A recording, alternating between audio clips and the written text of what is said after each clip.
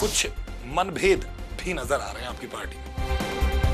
हमारा मतभेद हो सकता है हमारा मन भेद नहीं है। बार बार ऐसी खबरें आती रही कि कुछ खटपट है।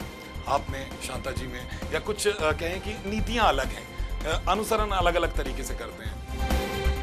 टिकट एक है एक को दे रहा है।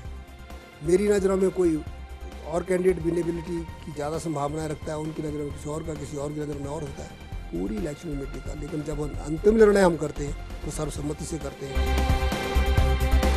जनता सुनना चाहती है हकीकत क्या? है जनता नहीं चाहती कि वो बातों में घूम जाए या उसे जो कुछ कहा जा रहा है उन चीज़ों में वो कहें कि बरगला कर रह जाए। वो हकीकत जानना चाहती। है हम जो लेके गए केंद्र ने उसी पे मोहर लगाई।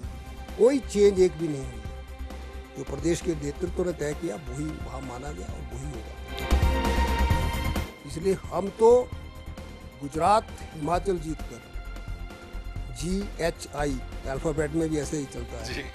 गुजरात जीतेंगे हिमाचल जीतेंगे फिर आई इंडिया जीतेंगे एनडीए की सरकार फिर बनाएँगे दिल्ली में।